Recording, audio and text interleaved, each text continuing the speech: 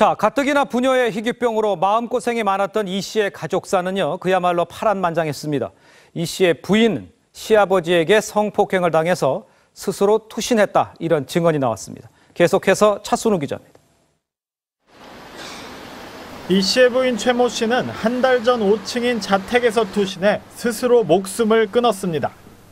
최 씨는 생전에 시아버지이자 남편의 계부에게 8년 동안 수차례 성폭행을 당했다며 경찰에 신고했습니다.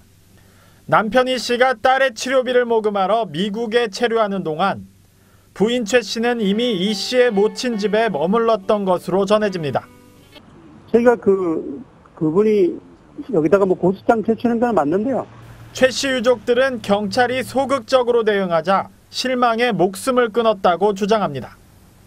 경찰은 여중생 살인 사건과 성폭행 건은 별도로 수사할 계획이라고 밝혔습니다. TV조선 차순우입니다.